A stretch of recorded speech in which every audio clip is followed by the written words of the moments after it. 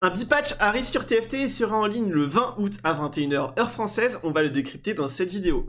Donc déjà, le portail Treasure Armory a été retiré, c'est le portail qui en 4-7 te permettait de choisir un butin avec 5 pièces, etc. Donc ça a été retiré. Flexible a été nerf, donc au lieu d'avoir un emblème sur les stages 2, 3, 4 et 5, tu auras un emblème sur les stages 2, 3 et 4. Moi, je trouve c'est très bien, parce que actuellement, c'est très fort. Hein. C'est 3.9 environ d'average flexible, ça fait des top 1, des gros résultats. C'est trop fort. Je pense qu'avec ça, ça devrait repasser dans la norme vers un 4.4, 4.3. Euh, donc je suis très content de cette modification. Ensuite, il y a l'Hero augmente de Lydia Higher Horsepower qui passe de bonus d'attaque speed de 150 à 125% et de bonus d'ability damage à de 300 à 275%. Donc c'est un petit nerf, c'est mérité, hein. c'est très très fort ce Hero augmente. Moi, je suis très content. Je trouve que c'est pas, ça tue pas l'Hero augmente, mais ça la remet un peu plus dans le droit chemin. Donc, euh, je trouve c'est très bien. Ensuite, Molten Caramel, l'Hero augmente de Rumble, qui est actuellement la meilleure Hero augmente du jeu, qui est très très très très fort. Ils ont passé l'ability de mèche de 200 à 190%. Hmm, c'est très bien. Alors honnêtement, je pense qu'il pouvait y aller un petit peu plus, vers un 185, 180, que ça marcherait toujours très très bien. Mais euh, c'est bien. Au moins ça tue pas les augmente et ça met un pas dans la bonne direction. Si à chaque fois ils font des petites modifications qui vont changer le delta de 0,05, on arrivera à un bon truc à la fin. Donc euh, vraiment pourquoi pas, surtout sur un bipatch. Donc euh, c'est bien, c'est bien en tout cas qu'il la nerf un peu. C'est vraiment trop dominant. Hein. les zéro augmentent actuellement et les deux là clairement en tout cas le sont. Ensuite, j'ai trade, il y a une modification. Le portal en 3 portals, le 3 portals bomb base damage passe de 135 à 90. Donc c'est vrai que c'est très dominant, 3 portals, donc euh, bah, je trouve c'est mérité. Après 45 dégâts sur les bombes, je me rends pas compte à quel point ça a un réel impact sur euh, tout un fight portal, mais ça me paraît vraiment beaucoup. Ça me paraît beaucoup, donc euh, c'est quand même un gros nerf du 3 portal. mais voilà, donc c'est quand, quand même assez impactant. Vanguard, le shield en 4 Vanguard passe de 35% d'HP à 30%. Donc ça c'est une modification qui est très intelligente parce que c'est vraiment le 4 Vanguard qui est dominant et qui est très fort et qui est présent dans beaucoup de, de compositions. On peut par exemple penser à anciennement Syndra Vanguard, maintenant Harry Vanguard, on peut penser à Hunter Vanguard, à Blaster Vanguard. Euh, tu, tu vois le délire. C'est très très fort 4 Vanguard, donc c'est bien qu'il ait nerfé. 5%, c'est pas énorme, mais c'est mérité, donc je trouve que c'est une très bonne modification. Tu vois, moi, globalement, je trouve que c'est un, très bon pipage, très intelligent, hein, globalement. On va, on va revenir après. Donc ensuite, ils ont nerf le 5 pyro, l'exécute passe de 18 à 15%, c'est très très dominant. 5 pyro, la spat pyro est ultra forte. Il y a des très bons porteurs de spat pyro en early mid, par exemple, tu peux avoir Nila en early mid, et après t'as Kalista, et après t'as Smolder, et en fait tu fais des top 1 parce que c'est trop fort 5 pyro, donc c'est bien. Ils ont nerfé de 3% exécute, donc de 18 à 15%. C'est pour moi très bien. Et l'attaque speed a été nerfé de 70 à 60% en 5 pyro. Euh, donc sachant que tu as encore en plus cette attaque speed des stacks euh, des cendres. Donc euh, bah, c'est très bien aussi, très bien, 60% c'est bien, c'est trop dominant 5 pyro à l'heure actuelle, donc c'est vraiment bien qu'ils aient fait ça, je suis très content. Ensuite, champion de cost, Harry a été nerf. Alors là, pas qu'un peu, hein, tu verras. Elle a son ability trop de mage qui a été nerfé de 10 au rang 1, 15 au rang 2 et 20% au rang 3. Et en plus de ça, et ça c'est vraiment énorme, son passif sur l'AP qui fait qu'elle reçoit plus d'AP de toutes les sources est passé de 30% à 15%. Donc autant te dire que c'est un énorme nerf, parce qu'actuellement ce qui rend Harry très forte c'est que tu l'as fait 3 étoiles et tu abuses de ce bonus là. Donc tu fais en sorte qu'elle puisse avoir beaucoup d'AP, qu'elle puisse beaucoup cast avec ses deux adaptives Rabadon.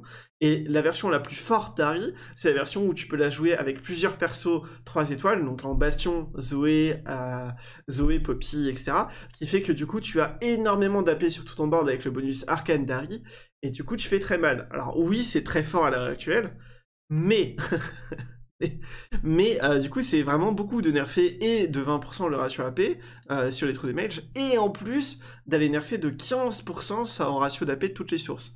Ça rend ça vraiment beaucoup moins fort. En plus, on s'est rendu compte que l'utilisation qui la rendait vraiment très forte, c'était double adaptive, Rabadon. Euh, ça demande quand même un, stuff très particulier. déjà, double adaptif, ça demande quand même un stuff très particulier. Donc, oui, Harry est très forte, mais est-ce qu'elle mérite autant de nerfs euh, que ça? Par exemple, vous pouvez juste faire le ratio AP ou euh, juste toucher ses ratios. Mais le fait de faire les deux, en général, ça tue vraiment fort l'unité. En plus, ce qu'il faut voir, c'est qu'elle est aussi souvent très jouée dans le cas de Vanguard, parce que c'est quand même plus simple d'accès et surtout avec les Hero Augment de l'IA et tout, t'arrives pas forcément à les faire. Du coup, la version Harry Vanguard, qui se joue avec 4 Vanguard, a quand même été très nerf parce que tu as été nerf sur le côté Vanguard là, mais en plus sur Harry qui perd quand même sur son passif bonus AP, sur ses, trous de mage. Honnêtement, J'aurais nerfé moins que ça, perso. J'aurais fait genre 30 à 20% si tu veux vraiment nerfer ça. Mais 30 à 15 et 20% là, ça me paraît vraiment beaucoup. Euh, alors que le reste est quand même plus, plus dosé. Euh, Harry est très forte, mais est-ce qu'elle méritait autant? Bon, on verra. On verra les nouveaux résultats. Euh, moi, je pense que c'est quand même beaucoup. Ça nerf quand même beaucoup ces deux compos majeurs. Euh, parce que pareil, tu pouvais la jouer, euh, ça marchait très bien avec l'Hero Augmente de Lydia. Lydia, tu pouvais la jouer en 6 bastions ou avec la version euh, Zoé Poppy Reroll. donc là, ça nerf également cette compo-là quand t'as l'Hero Augmente. bon, à voir. En tout cas, sache que Harry était beaucoup nerfé, donc fais bien gaffe à pas être à plusieurs dessus. Euh, dans tes lobbies. Et du coup, on risque de voir plus d'autres compos, par exemple des Vigars, euh, Vegar Vex Reroll ou des trucs comme ça à la place. C'est largement possible. Nila a été nerfé de 5 sur son AD. Je pense que c'est mérité. C'est vrai que c'était très fort, très dominant en early mid. Euh, Nila, sur des... pour aller vers Warrior, pour aller vers Pyro, pour ce genre de choses. Donc c'est pour moi mérité. En plus, Eldritch, ça rentre très bien en 3, en, 3 en early. Donc elle perd juste 5 d'AD, hein. c'est pas non plus monstrueux, mais c'est quand même assez impactant, donc à dénoter quoi. Ensuite, Fiora été nerf, je trouve que c'est très bien aussi. Fiora, c'est très très fort. Tellement fort que tu peux la jouer sans Witchcraft, sans Warrior dans ton board, et c'est quand même très fort. Donc ils l'ont pas non plus détruit, ils ont retiré 20 euh, de ratio à AD sur euh, sa compétence de base, et euh, ils ont réduit de 30 son ratio sur le split damage en AD. Donc c'est pas non plus monstrueux.